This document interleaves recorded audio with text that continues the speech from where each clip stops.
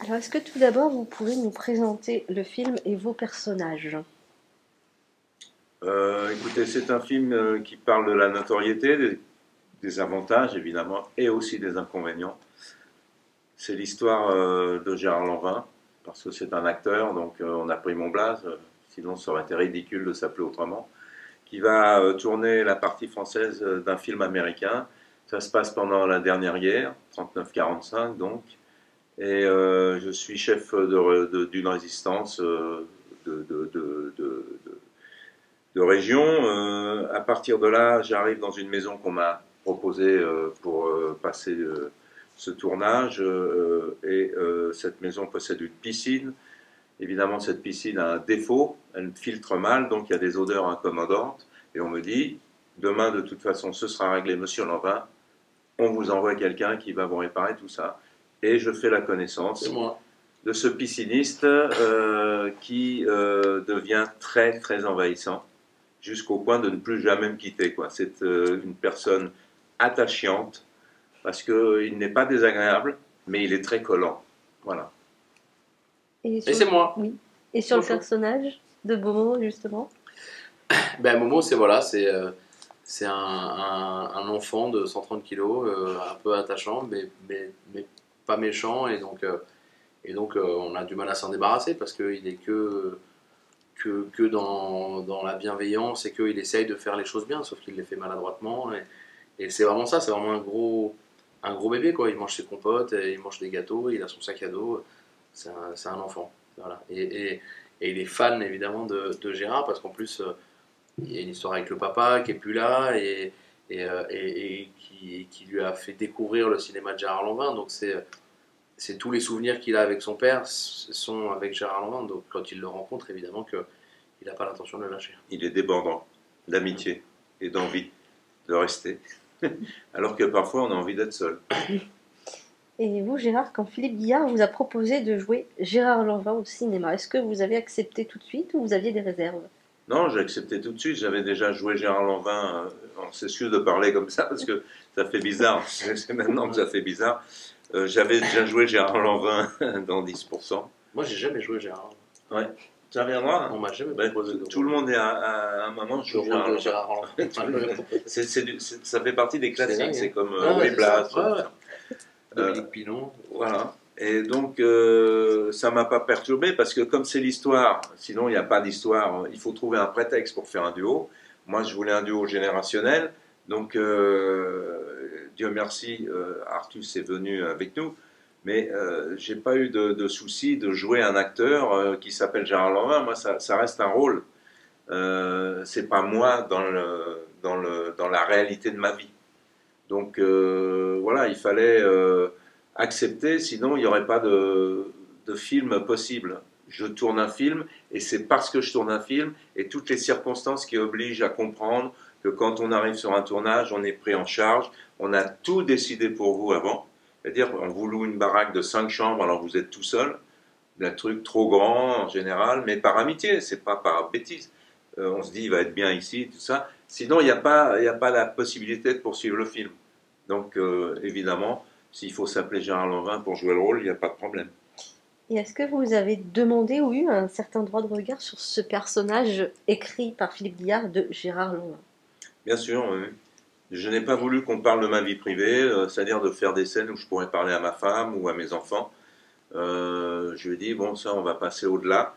Euh, on reste sur l'idée d'un mec qui, comme dans tous les tournages où, où on peut aller, supposer, on se retrouve seul avec, euh, avec euh, l'idée de venir travailler et euh, ça commence très tôt le matin, ça finit très tard le soir, dormir, recommencer le lendemain. Donc euh, voilà, c'est euh, euh, à peu près tout ce que j'ai demandé à Philippe, c'est de ne pas euh, inclure euh, les gens de ma famille là-dedans, enfin même euh, un coup de fil supposé ou peu importe. Il y a l'intervention d'Olivier Marchal, mais c'est normal, il fait partie de la famille euh, de Philippe, la mienne aussi. Donc on l'a fait intervenir comme d'habitude, on, on le fait ensemble. hein. Quand il tourne un truc, je lui dis je suis pas là, essaye d'être bon quand même, parce que tout dépend de l'autre. Mais il y a un moment où tout ça s'est s'est très bien passé, Philippe le comprend très bien, il n'y a pas de souci. Et vous, Artus, comment vous avez préparé le rôle de Momo Zapparetto Est-ce que vous avez revisionné toute la filmographie de Gérard Lanvin Ah non Non, non, non, trop long. Non, non, mais, euh, non, mais c'est un perso. euh, je, je pense que c'est un perso euh, qu'il faut pas for- forcément justement trop préparer parce que c'est un personnage qui est dans la spontanéité, et qui est dans le moment, et qui est dans. Je pense que si on commence à, le- à trop le, le céréal, euh, cérébraliser, C'est- ouais, c'est jamais réussi à dire ça. J'ai céréal Cé- céré- Cérébralisé. Oh là là, il est compliqué ce mot. Cérébralisé, ouais. Cérébralisé, Pourquoi j'ai pas pris un mot plus simple. C'est fou, hein, comme des fois tu veux te mettre dans la merde tout seul comme ça, à partir sur des mots. Donc Moulinex. c'est un personnage qu'il faut pas trop Allez, allez. Voilà, il a- il a- il faut pas trop réfléchir. Voilà. Et, euh, et euh, non, je pense qu'au contraire, il faut qu'il soit dans la spontanéité, dans le moment, dans le. Dans, dans... C'est un personnage qui est, est- qui est que dans la vie, qui est que dans l'instant et qui est que qui a juste envie de faire bien les choses et qui les fait maladroitement. C'est justement parce qu'il n'y a pas réfléchi qu'il les fait qu'il les fait aussi euh, aussi maladroitement. Je pense que s'il se disait alors demain pour Gérard qu'est-ce que je vais faire, il n'aurait pas cette maladresse et cette euh, ce côté touchant. Et vous, personnellement, qu'est-ce que vous avez souhaité apporter justement à Momo? Ben, j'ai apporté, euh, je, je pense et j'espère, mon énergie, de- des vannes, du, du- voilà, on avait, on avait un curseur avec euh, la euh, sur, il y avait Momo de 1 à 10. Donc il y avait Momo 1 qui était la version un peu soft Momo, euh, un peu la version écrite, puis après on montait. C'est l'avantage du cinéma aujourd'hui, c'est qu'aujourd'hui on n'a plus de pellicule, donc euh, donc on, a plus cette économie de se dire ah attention là on arrive au bout de la bobine, faut rester sur le truc. Donc euh, si on veut faire 4 prises de plus, euh, à part du temps, ça nous coûte, euh, ça coûte rien. Donc, euh, donc c'est dommage de se priver justement de se dire viens on s'en fait une là, on lâche les chevaux, on va un peu loin et puis on voit ce qu'on garde et ce qu'on garde pas. Mais même si de là-dedans on sort juste une vanne ou juste une réaction ou juste un truc, euh, c'est que, c'est que du plus. Et est-ce que vous avez pu, c'est ce que j'ai trouvé, apporter un petit peu un côté un peu beauf de ce que vous avez un peu parfois sur scène quand Un vous... peu.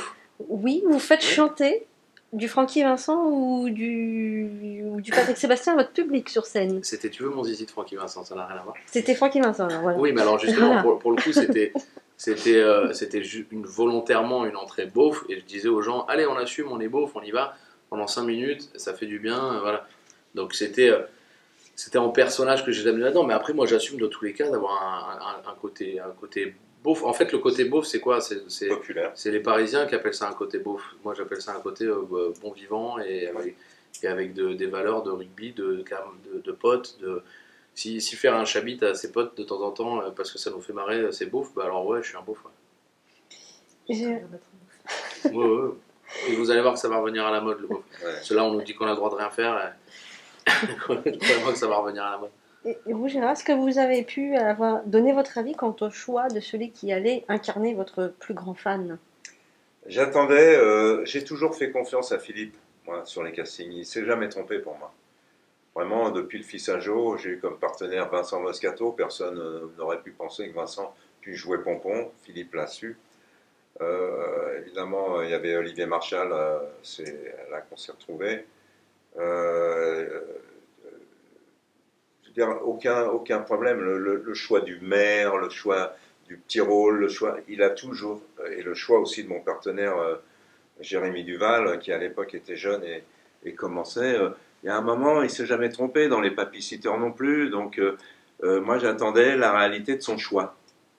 Il m'aurait dit, euh, c'est un tel et ce type m'aurait pas plu. Je lui aurais dit, euh, moi, je suis désolé, je le sens pas. Quand on m'a proposé Artus, c'était une embellie parce qu'Artus, je connais son travail, euh, je l'ai vu sur scène. Donc, à partir de là, euh, j'ai tout de suite percuté que ce personnage et puis le gabarit qu'il a, tout ça était intéressant parce que Philippe m'a dit je vais lui, proposer des choses au niveau des, des attitudes et des fringues qui, vont faire la différence. Et euh, moi, ce, ce personnage de Momo n'est valable que si lui le joue parce qu'il faut qu'il soit très attachant. Après, qu'il soit chiant, c'est autre chose. N'importe qui peut faire le chiant.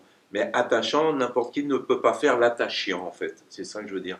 Et, euh, dans l'émotion, dans le, dans le contenu, en fait, il est assez euh, émouvant, euh, ce personnage qui, oui, il nous fait rire, mais c'est toujours parce qu'il est très généreux, très, très sensible, et qu'il a été élevé par un père qui était fan.